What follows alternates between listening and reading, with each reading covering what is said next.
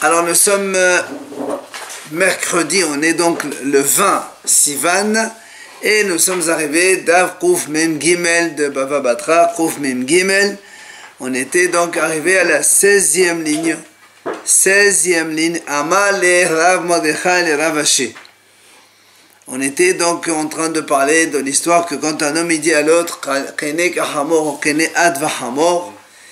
quand il lui dit tu acquiers toi et l'âne, on a vu une mahloket entre Rav Nahman, Rav et Rav Sheshat. Rav Nahman a dit il a, eu, il a acquis la moitié puisqu'il fait la moitié avec l'âne. Rav Amnouna il a dit non puisque l'âne n'acquiert rien, lui non plus a rien. Et Rav Sheshat il a dit lui Qana Hakol. Vient la Gemara, de Rav. Il dit à Rav Avya qui a objecté sur cette notion, une question, une objection. C'est l'histoire d'Enqidushin. Maase Behamesh Nashim. Il y avait donc cinq femmes. Parmi les cinq femmes, il y avait deux sœurs. Il y avait un panier avec des figues, donc qui appartenait à ces femmes-là? Seulement, c'était les fruits de la septième année. Et les fruits de la septième année, tout le monde peut les prendre. Donc c'est Hefker. Et donc ce monsieur, il a pris le panier.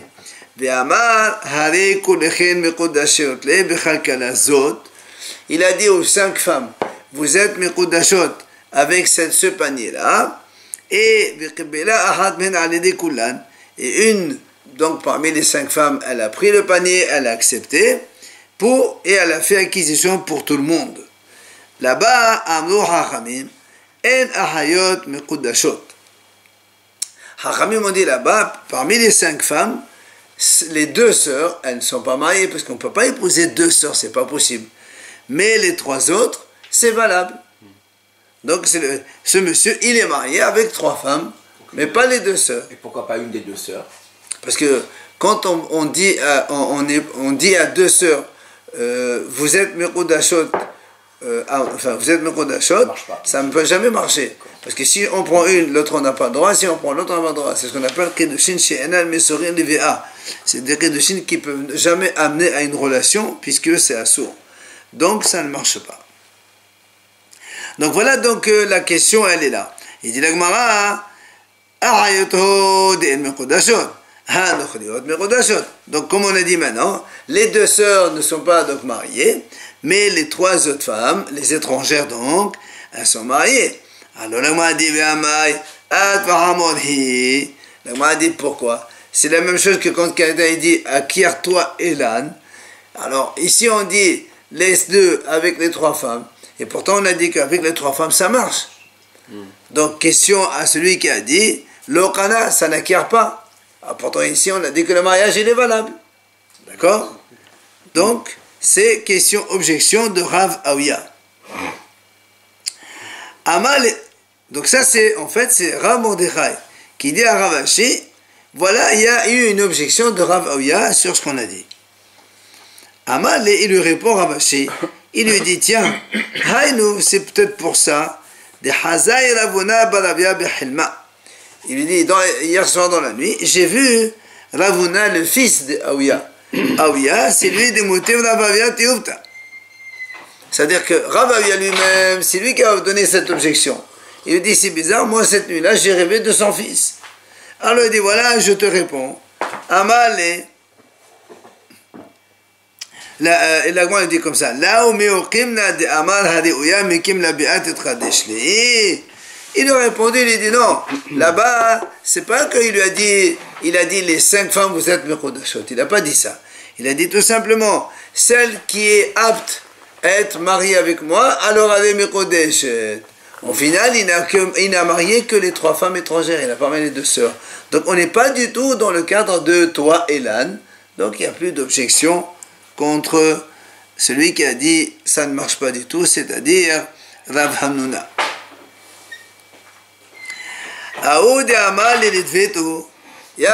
Dit comme ça, il y avait un homme, il a dit à sa femme,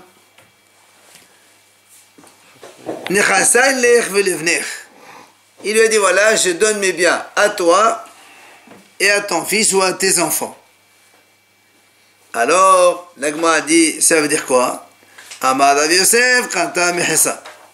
Rav Yosef, il dit, s'il lui dit à sa femme, à toi et aux enfants, ça veut dire on fait moitié pour toi et moitié pour les enfants. D'accord? Rav Yosef dit, d'où je tiens cette information, cet enseignement? Et eh bien, il dit, voilà, Détania, comme est marqué dans la Braïta. Rabbi Omer, Rabbi dit comme ça. C'est marqué dans le pasuk, le Aaron Vanao. Ce sera pour Aaron et Vanao en parlant de, donc des korbanot. Alors si la Torah dit Aaron et ses enfants, il dit Rabbi, ça veut dire Mersa le Aaron, Mersa le Vanao. C'est pour ça que Rabbi l'a dit, si la Torah dit Aaron et ses enfants, Machma on donne la moitié pour Aaron et la moitié pour ses enfants. Donc chez nous aussi, un homme dit à sa femme, je lègue mes biens à toi et aux enfants. Machma à la moitié, pour toi la moitié pour les enfants. Mhm. Alors, Amal et Abaye, ça c'est Rabbi Yosef qui dit ça. Il y a Abaye, il dit, mais c'est pas du tout la même chose. Pourquoi? Là-bas, dans le cas de Aaron, normalement, même sans qu'ils le disent, même sans que la Torah le dise, on sait très bien que les Kadashim, ils vont au Kohanim. Qui étaient les Kohanim là-bas? Aaron et ses enfants, il n'y avait que ça. Alors, si la Torah, elle dit, c'est pour ça qu'elle dit, donc Aaron, il est déjà apte à partager avec ses enfants. Pourquoi la Torah a insisté à la préciser Tu n'as pas besoin de le dire? C'est normal, ça va au Kohanim. Et là, c'est pour te dire, les mushral palga. C'est justement, si la Torah elle a, insisté, elle a souligné que Aaron il va partager avec ses enfants, mashma, c'est pour te dire qu'il faut qu'il prenne la moitié. Mais Isha, là, mais dans le cas de la femme, quand un monsieur dit à sa femme, tu prends toi et les enfants, normalement la femme, elle prend rien du tout parce qu'elle n'hérite pas. Alors, ben, on devrait dire ici que quand il dit la femme et les enfants, c'est-à-dire elle aura une part comme les enfants, et on partage en nombre les enfants plus la femme, et on donne à chacun une part. Pourquoi tu dis que la femme elle prend la moitié et tu compares ça à Aaron, ça n'a rien à voir, c'est deux choses différentes. D'accord? Donc c'est ce que Abaye objecte à Rav Yosef. Alors la a dit, comment peut-on dire cela? Ben Shmuel Palga. La dit, pourtant, il y a eu une histoire comme ça, où un monsieur il a dit à sa femme, je te donne les biens à toi et aux enfants. Donne Herdea, et Shmuel il lui a donné la moitié. Comme on l'a dit normalement. Moitié pour elle, moitié pour les enfants. Moitié elle, moitié des enfants. Et elle a un autre cas de Betveria, la même situation dans Beria en Israël. Et Rabbi Yohanan là-bas, il lui a donné aussi la moitié à la femme, avec les enfants, moitié-moitié chacun. Mais tout, et encore, Abaï l'objecte à Rabbi Yosef, il lui dit, atteint la Vishak, Rabbi Yosef, quand il est venu la Vishak, Rabbi Yosef, Amad, il a dit, Hahoudi qu'il est là, des shadows de Malka, à Aboulé ou à Estedogué. Il a dit, avant les rois, quand ils voulaient se faire une couronne, comment ils prenaient l'argent? Ils allaient chez les juifs et ils faisaient des impôts. Toi tu donnes, toi tu donnes, toi tu donnes. Et donc ils ont dit, normalement, les gens du roi, sont venus chez les juifs, ils dit, voilà, les riches et les autres, ils doivent donner l'argent pour faire euh, fabriquer la couronne du roi. Et sur quand il a dit ça, Amar Rabbi, Rabbi il a dit comme ça, aboulé palga, palga. Rabbi il a dit, si le roi il a dit les riches et les autres, machma, les riches ils doivent donner la moitié et les autres ils doivent donner la moitié. Donc, Nitbo aboulé palga, palga. C'est ça, aboulé c'est les riches, estrogil c'est les autres. Donc, donc, tout ça, ce sont les objections que euh, Abaye que la fait contre Abaye, que Abaye a dit c'est pas du tout la même chose, entre euh, la femme et l'histoire de Aaron c'est pas du tout la même chose, et voilà, nous on a eu des cas où c'est vraiment, on a fait comme ça la moitié-moitié, et Rabbi Saril a dit où c'est la même chose là-bas. Alors, bah, bien le Gemara lui dit, comment tu veux m'objecter à partir de cette histoire de la couronne du roi?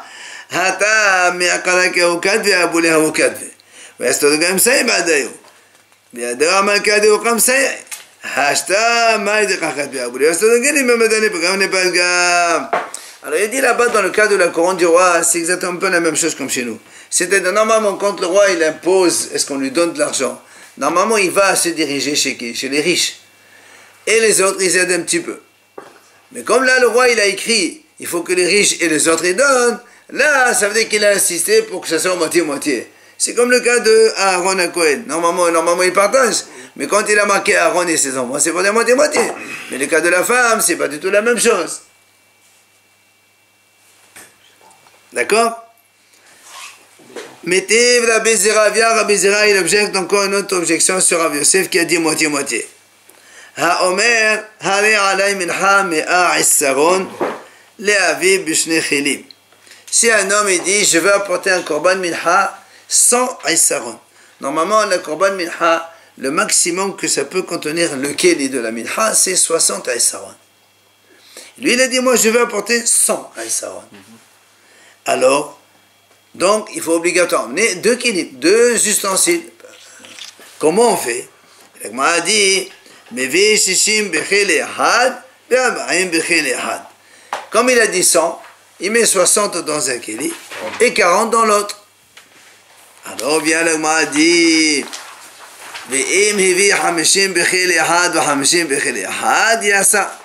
Ici maintenant le monsieur il s'est trompé, il a amené 50 dans un keli et 50 dans un autre keli, alors ça marche, on est quand même acquitté. Alors le m'a dit donc, qu'est-ce qu'on a dit ici? Normalement, a priori, il faut apporter 60 plus 40. Si a posteriori, il a fait 50-50, ça marche. Donc, c'est seulement a posteriori que ça marche moitié-moitié. Mais a priori, c'est non. Alors, ça, et alors, l'agma a dit, si tu penses comme il a dit Rabbi Yosef, quand on dit comme ça, c'est moitié-moitié a priori, pourquoi ici ça marche pas moitié-moitié a priori? On aurait, on aurait dû dire, quand il a dit 60, que 1 ça ne contient pas, on fait moitié-moitié 50-50. Pourquoi on a dit ça seulement a posteriori? Donc tu vois bien, c'est pas forcément moitié-moitié. Et c'est quoi le minimum du saron pour apporter? 1, 2, 3, 4, il n'y a pas. Ah. Mais c'est parce qu'on remplit 60 obligatoirement, c'est peut-être pour ça. Non, 60 c'est le maximum que Ouais, tu mais peux. donc 60, et après c'est pour ça, d'habitude on met 60 et après quand Non, pas 60. Je vais pas prendre 50 moi si je veux. D'accord. Alors, l'agma a dit, hashta. Là aussi, l'agma a dit, tu ne peux pas poser question de cela. Pourquoi?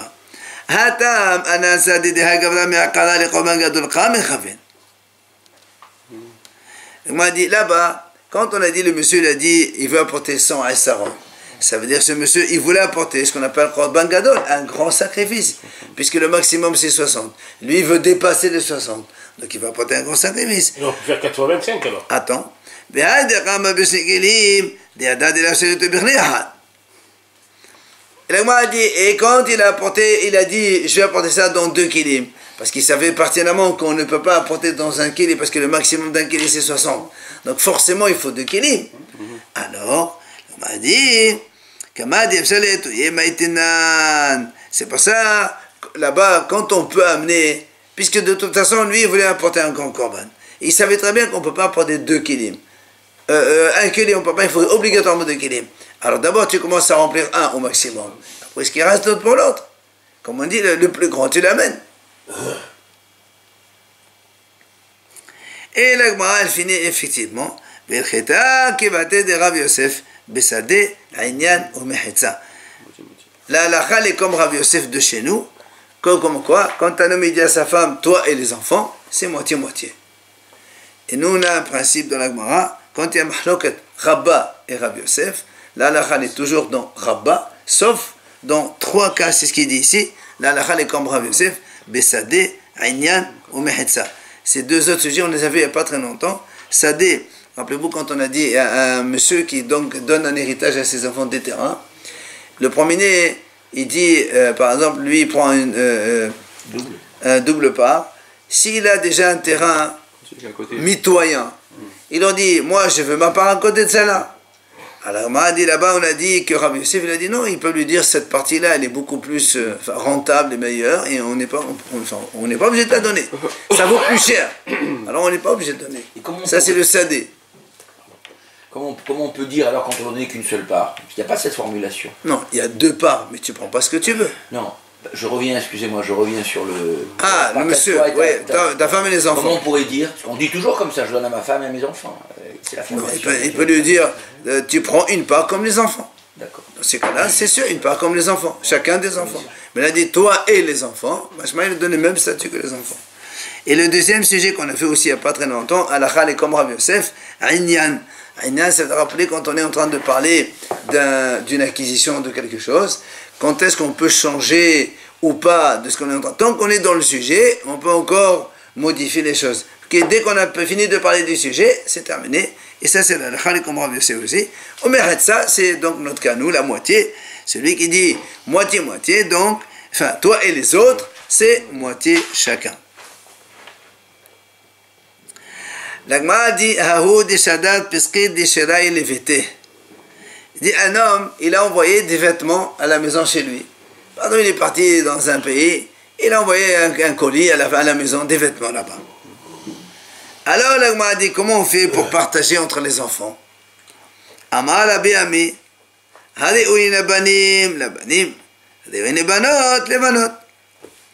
Alors les, les habits des, des garçons, on les donne aux garçons, et les habits des femmes, on les donne à ses filles. Donc en fait, les habits c'est pour ses filles, ses garçons, ses, ses- ses enfants quoi. Il n'a pas parlé de la femme. Bon. Maintenant, il dit l'Agmara.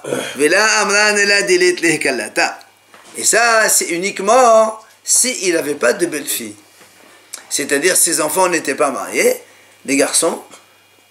Et donc, c'est pour ça qu'on dit on donne aux garçons et aux filles qui sont les siens. Mais aval et lehkalata, lechalate shada. Mais si il a des garçons qui sont mariés, les abbés féminins, ils vont aux belles-filles. Avant ses filles. avant Attends, attends. Les abbés Vimena, ils vont aux belles-filles. Mais, mais. Mais ça, quand est-ce qu'on dit ça va aux belles-filles C'est lorsque les filles, elles sont déjà mariées. Il a des garçons, il a des filles. Tous, ils sont mariés. Quand il envoie des habits pour les garçons et les filles, les, les habits des garçons, ça va à ses enfants. Et les habits des filles, ça va aux belles filles, pas à ses filles. Parce qu'elles sont déjà mariées. Mais si les filles, elles sont encore célibataires, il est évident qu'il ne va pas donner aux belles filles, il va laisser tomber ses filles. Donc ce sont les filles qui prennent. Donc résultat final, les habits des hommes, c'est pour ses enfants garçons à lui. Les habits des femmes, c'est pour ses filles à lui. Mais si les filles, elles sont déjà mariées, les habits des filles, c'est pour les belles filles. On ne partage pas. Et les belles filles, elles n'ont rien. là S'il y a des filles célibataires, Mais les belles filles, n'ont rien, non? Si, oui, si les filles elles sont célibataires, les belles filles n'ont rien Rien, du tout. Mais si les filles elles sont mariées, il n'y a que les belles filles qui prennent, les filles elles prennent rien. S'il y a de l'abondance, il ne peut pas donner aux deux, non Il a marqué comme ça. Il n'a pas dit quoi, lui? Aoud Amar, l'Agma nous ramène encore un autre cas. Aoud et Amar lehu nechasai levanai.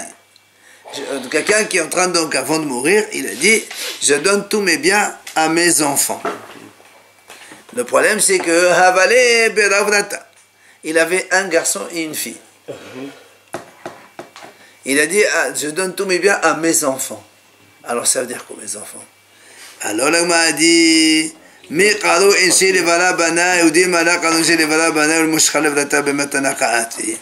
La question elle est, soit tu dis, quand, et, et, euh, euh, ça ça se fait que les gens emploient le pluriel pour un garçon, et auquel cas, celui-là il va donner qu'à son garçon. Ou bien tu me dis non, ça se fait pas, on ne dit pas mes enfants alors qu'il n'y en a qu'un garçon seulement, Bah ouais. et donc ça inclut la fille, donc il faut donner à la fille aussi autant. Parce que ça, c'est un cadeau d'amourant, donc avant, c'est pas un héritage. Donc, il faut donner à la fille. C'est ce que l'Agma a dit. Est-ce que les hommes ont l'habitude d'appeler un, ga- un garçon, un seul, banai, mes enfants? Auquel cas, il faut les donner à tout, à lui seul. Ou bien, Odin malakaro enche levra banai. On n'appelle pas un garçon mes enfants. Ici, il a dit mes enfants. Ou le. Il veut donner à la fille aussi un cadeau. Sinon, il meurt, il dit, il dit rien, et ça va de direct au fils. Ah, s'il meurt, il dit rien, oui, ça va être au fils. Amal Abaye, donc, Abaye, il vient nous répondre, il dit Tashema, venez Dan Hoshim. C'est marqué dans la Torah, et les enfants de Dan, Hoshim. Il a un seul, et pourtant on l'appelle venez Dan. Donc tu vois bien que ça existe, que les gens emploient le pluriel pour un garçon. Donc c'est le garçon qui prend tout. Pourquoi c'est écrit comme ça dans la Torah? Euh, il y a plusieurs explications. Il y en a qui disent que et, euh, lui tout seul, il a fait beaucoup de descendants. Un seul, il a fait beaucoup de descendants. Il y avait une grande famille. Mais alors c'est quoi là? Parce qu'il y a deux- il y a deux avis là. Non, pour l'instant, on a un seul avis. Réponse quand il dit mes enfants, ça peut être un seul garçon, il donne qu'au garçon. Selon cette réponse. Et voilà. Voilà. S'il veut donner aux deux, il dit à mon garçon et à ma fille. Ah oui, s'il dit à mes enfants seulement, ça ne marche pas. Quelle est la pensée du père à ce moment-là ça? C'est pas mon problème. Et tu emploies un terme ambigu, on regarde un peu ce qui se passe dans la Torah. Ah, pas du tout. Ah non, aucune logique. C'est un mot, aucune logique. Alors, même avec ça, Amal et Rava, il vient, Rava, il lui dit Dilma ki detana de Beheskia shayu merubin ki hoshim shel khane. Rava, il vient, il lui dit à Abaye, tu as répondu de cette, réponse, ça va, d'accord Mais seulement, dans la yeshiva de Heskia, on a expliqué, on a dit, Oufne Dan, Hoshim, c'est pas le nom de son fils. Hoshim, ça veut dire les enfants de Dan étaient nombreux comme les feuilles, les feuilles des, canis, des roseaux. Donc c'est ça. Donc ça veut rien dire. Ça veut pas dire qu'il a un seul. Il en a beaucoup. Donc ça, c'est pas une preuve. Alors, à Elama là-bas, c'est pour ça que Rava il ramène un autre pasuk. Il dit, c'est marqué dans la Torah, Ouvne Falou et les Av.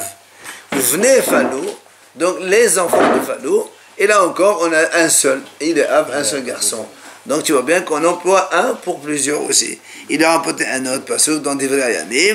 Rav Yosef Amar, Ouvne Etan Azaria. Là aussi, il a marqué les enfants de Etan. Il n'y en a qu'un seul, c'est Azaria.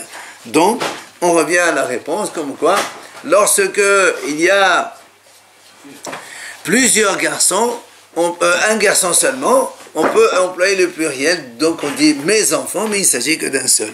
Et donc ça va seulement aux garçons et pas aux autres. que Pour la première fois, ils n'ont pas eu aussi une grande descendance. Non, non, non, c'est pas ça. Non. La, la, la, la, la dracha elle était faite que pour Hashim, pas pour les autres. Aoud Ama Léon Chassai Levanai. La Gemara ramène encore un autre fait. Il y a un monsieur qui a dit Je donne tous mes enfants, euh, tous mes biens à mes enfants. Et là encore, qu'est-ce qui s'est passé? Il avait des garçons et des petits-enfants. Donc des enfants et des petits-enfants. Alors la Gemara a dit Est-ce que. Est-ce que quand il dit. Imaginez, on avait deux enfants et dix petits-enfants. Ok? Alors est-ce que ça veut dire de que des garçons Est-ce que ça veut dire quand il dit à mes enfants, c'est pour partager les biens en douze? Non. Ou bien mes enfants, c'est uniquement en deux Marrant, t'es marrant. pas, sinon. T'es marrant. rien sinon. Eh ben je. C'est le Sylvestre. Alors, hein Après, ils vont récupérer. Oui, mais après, tu récupères après. Attends 50 ans. C'est pas pareil. Alors, l'agma répond. Rav Haviva Amar, Kado Inse Levad Bera Bera. Rav Haviva dit oui, monsieur, les petits-enfants, on les appelle aussi des enfants, et donc on partage en douze dans notre cas de figure. Mord Barabashi Amar, la Kado Inse Levad Bera Bera. Mord Barabashi, il a dit non. Un enfant, c'est un enfant. Les petits-enfants, c'est pas les, c'est des enfants. C'est pas, donc ici, dans le cas, c'est que deux et pas douze. Comment on fait? Tania Kebate de Mord Barabashi. La nous ramène ici une breta qui soutient la parole de Ravashi, de Mord Barabashi, pardon. Mord Barabashi, il amène la breta qui a dit. Si quelqu'un il fait un vœu de ne pas profiter de son fils, il peut profiter de son petit-fils. Voilà, donc tu- Donc les enfants et les petits-enfants, c'est deux choses différentes. Et donc ici, quand il a dit mes enfants, ça n'inclut pas les petits-enfants. Ça, c'est une preuve pour Mor Baravashi. Matiti, nouvelle Mishnah. On parle donc d'un cas de héritage normal. Donc le père, il est mort, il a laissé des biens, il a laissé des grands garçons et des petits garçons. Et euh, le, le- la, la Mishnah nous dit comme ça. Si les grands garçons, ils se sont occupés des biens et ça, il y a une plus-value. Par exemple, ils ont amené des ouvriers pour travailler dans le terrain et ça a produit euh, par exemple de, de- des raisins, enfin un vignoble, ou n'importe autre chose, d'accord? Eh bien, toute la plus-value, on la partage. Si on arrive à un moment pour partager les biens et qu'il y a déjà la production, ben on partage à égale partie, donc entre tout le monde, les petits-enfants comme les grands. Mais, im amr, si les grands ils disent, soit ils disent devant le tribunal ou devant des gens, euh, regardez ce que notre père nous a laissé. Ça veut dire, on veut maintenant faire le partage. Mais comme apparemment en pratique c'est pas encore possible, ils ont dit, allez, ah non, et on dit, voilà, nous on veut travailler dans notre terrain. Alors dans ces cas-là, s'ils ont dit ça, alors ils ont le droit de prendre que leur, enfin ce qui est la plus-value que pour eux seulement, pour, leur- part. Ils ne donnent pas aux autres.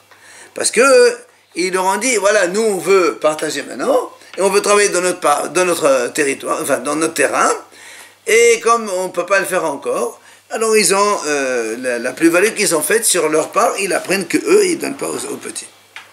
Et pourquoi les petits enfants ils prennent euh, sur la plus-value Non, c'est pas des enfants. Parce que, non, c'est les, les petits garçons. Non, c'est les enfants qui sont petits. Mineurs. Qui savent, voilà, les mineurs. pardon, non, ouais, j'avais dit sur Mineurs et, mal- et majeurs, évidemment. les petits enfants. La majeur, c'est pas forcément majeur, mais c'est un Non, peu les, plus. les enfants qui sont pas majeurs. On a- mais on avait vu, il y en avait vu ailleurs que quand il y a de la plus-value comme ça, tout le monde devait profiter. a c'est ce pas qu'on a dit. C'est ce qu'on a dit au début, la première idée. Mais c'est la deuxième, les garçons, les grands, ils disent, nous, on veut partager maintenant. Et qu'on n'arrive pas pour X raisons. Et on dit, mais dans ces cas-là, nous, on veut travailler dans notre terrain pour le... Pour nous et pas pour eux. Voilà. C'est pour ça qu'on a dit, dans ces cas-là, c'est pour eux. La même chose dans le cas d'une femme. Si donc il n'y a pas de grands garçons, il n'y a que des petits, et que la femme, elle gère, elle, les biens, alors dans ces cas-là, même s'il y a une plus-value, évidemment, ça va aux enfants aussi. Maintenant, si la femme a dit la même chose, si elle aussi a dit, par exemple, donc, euh, normalement la femme elle a le droit à sa ktouba, et donc elle dit voilà, mon mari il m'a laissé ce terrain-là pour moi, Euh, on partage, parce qu'il faut, euh, avant la ktouba, il faut donner donc l'héritage aussi. On remarque les deux, il y a les deux. Il y a la ktouba et l'héritage. Donc si elle leur dit, moi je veux travailler dans ma part, et elle travaille seulement dans sa part, même si on partage plus tard, c'est elle qui prend seule la plus-value qu'elle a faite dans son terrain. Quelle part? Ktouba C'est normal, euh, quand euh, son mari meurt, elle a droit à sa ktouba, dessus. Ah, Gmara Amar Rav Haviva Balé de Rav Yosef Balé de Rava de Rava. Il vient donc Rav Haviva, fils de Rav Yosef, fils de Rava. Au nom de Rava, il dit la chose suivante. Lo Shanu, quand est-ce qu'on a dit? Que on- ça- le, le- le- quand il y a une plus-value euh, normale, on partage donc pour tout le monde, d'accord? Et là, Nechassim. Seulement si les biens, ce sont, donc il y a une plus-value des biens pour, donc, par les biens eux-mêmes. Ça veut dire que les enfants, ils n'ont pas investi de leur propre argent. C'est tout investi donc de l'héritage commun. Par exemple, ils ont pris de l'argent, ils ont amené des ouvriers, enfin tout, ils ont pris de l'héritage du père. Et après, ça a fait une plus-value. C'est là où on a dit on partage tout le monde à égalité, même les enfants qui n'ont pas travaillé. Ah bah, Mais si les grands garçons, ils ont investi ah seuls de leur propre argent, bah, ils ont amené eux-mêmes, ils ont payé des ouvriers, ils ont fait des choses et des choses, dans ces cas-là, la plus-value, elle est à eux seulement. Alors donc ça, c'est ce que dit au nom de Rava. Ça m'en vient avec moi à l'objet. Il dit, comment tu peux dire ce genre de choses? Mais ah, Rabbi Hanina, pourtant, on a vu que Rabbi Hanina, il a dit la chose suivante. Il a dit.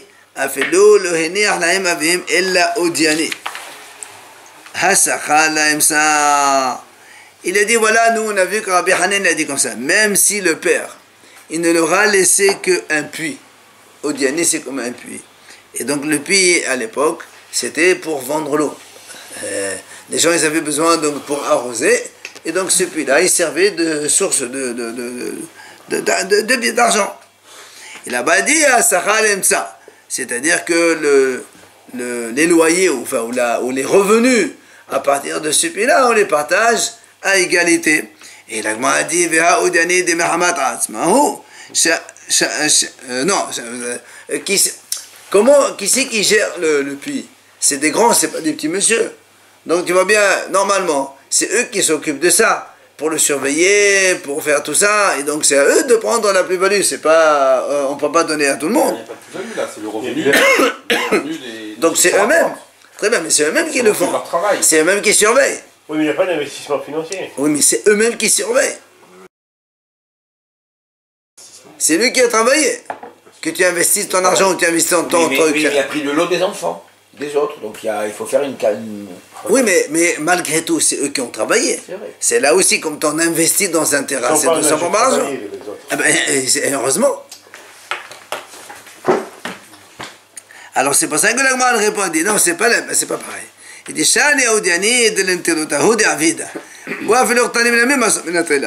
Il dit, non, là-bas c'est pas pareil. Là-bas, quand, comme il s'agit simplement de garder un puits, même un enfant il peut garder. Tu lui dis, mais là, ici, voilà, tu fermes la porte, personne n'a le droit d'ouvrir. C'est lui qui veut, euh, il te paye, sinon tu ouvres pas le truc. Tu gardes des clés. Donc comme là-bas aussi des enfants ils peuvent le faire, c'est pour ça qu'on partage à, à tout le monde. Mais effectivement, quand il s'agit de travailler dans un, un terrain pour planter ou cultiver autre chose, et là ils paient de leur argent, c'est sûr que ça c'est pas la portée des petits. C'est pour ça que là-bas on a dit, ça va uniquement aux grands qui ont investi.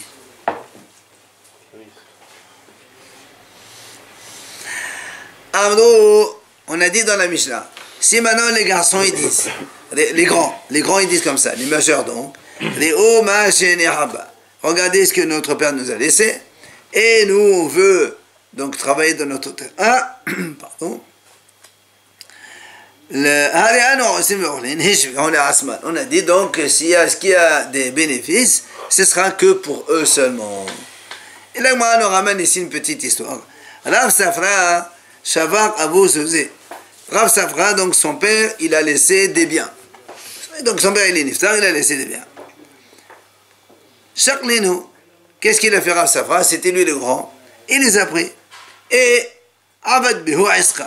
Il a fait des affaires avec, il a gagné de l'argent. Maintenant, ils sont venus ses frères, ils ont vu qu'il a gagné pas mal d'argent.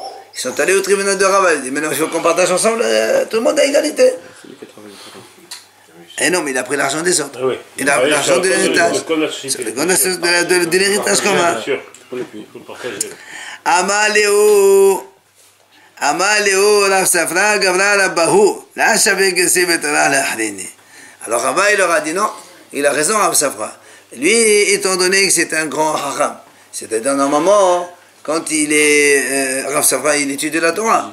Donc s'il a pris la peine de prendre de l'argent, d'investir, d'aller travailler un petit peu, c'est sûr qu'il ne va pas le faire pour les autres.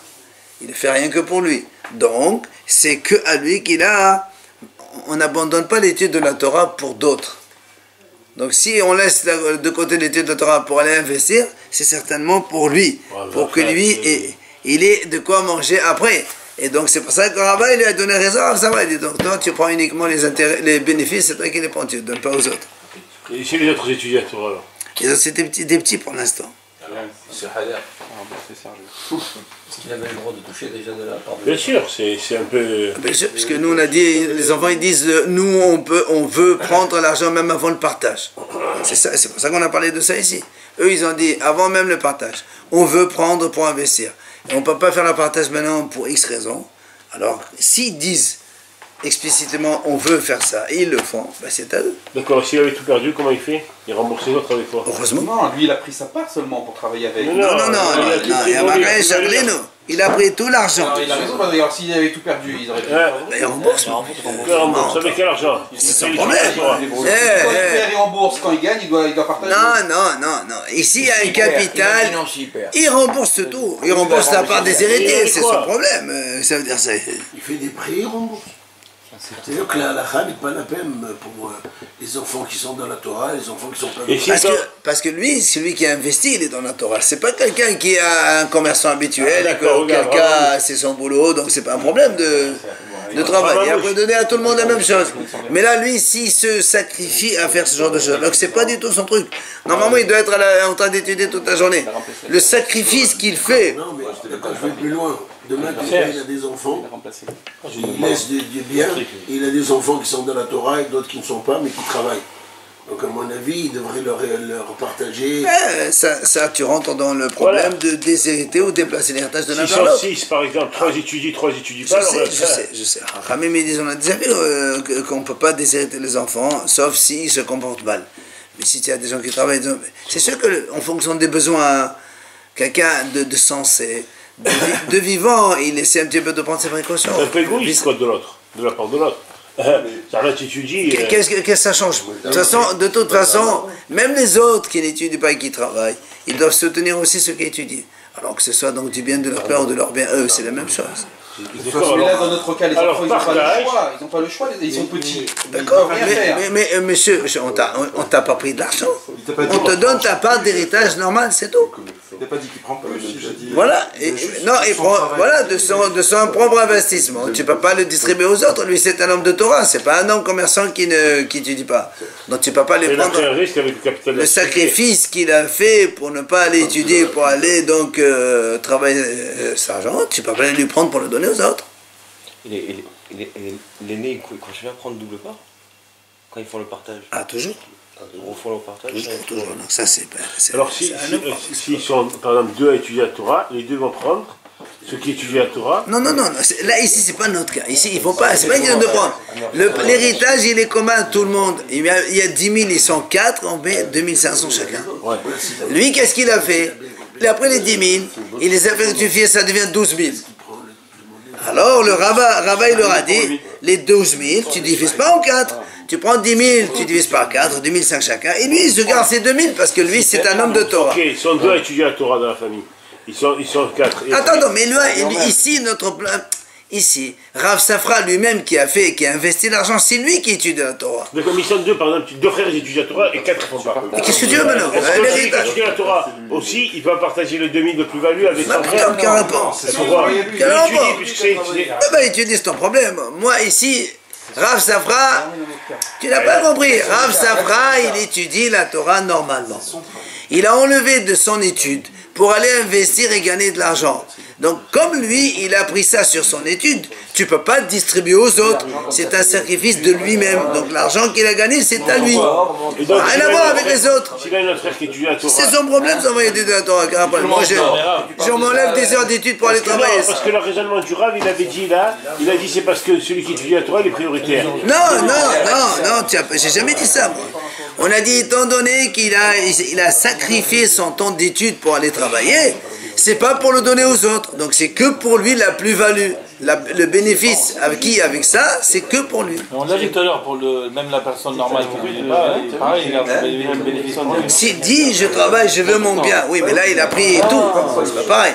Là, il a pris tout l'argent de l'héritage. Là-bas, il prend sa part, il a fructifié. C'est normal qu'il ne donne, donne pas sur sa part. Ben, c'est ce qu'on est en train de dire. Non, le cas tout à l'heure, on avait vu qu'ils avaient, ils avaient- ils avaient pris tout le, tout le bien. Non, non, non, il a pris, il dit, voilà, euh, moi je veux travailler dans mon territoire, en attendant de faire les partage. petits, là, les, petits, on avait dit que, qu'ils prenaient, tout le... Non, non, non, non. Avec les autres, on a dit qu'ils prenaient leur part de terrain, ils le travaillaient. Quand il y a une plus-value, on ne fait pas le partage de la plus-value, on fait le partage que de terrain seulement.